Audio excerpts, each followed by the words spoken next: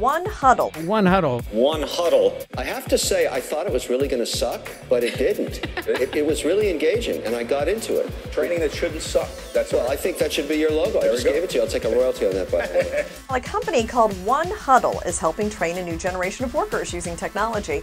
It turns workforce training programs into a gaming app for employees to help them retain job knowledge long term. Technology is something that, when it comes to training, not a lot of training programs today have gotten out of the Stone Age yet. I got into it and I actually got engrossed in it, so it must actually have some merits. Corporate training today is broken from our point of view. 87% of what you learn in a live training or seminar, we're going to forget within 30 days. I'm a believer. You got me hooked on this thing, and uh, I, am a believer that this is the right way for training to happen. Mr. Wonderful, you buying this for all your uh, I think companies? it's going to work. I think it's going to work.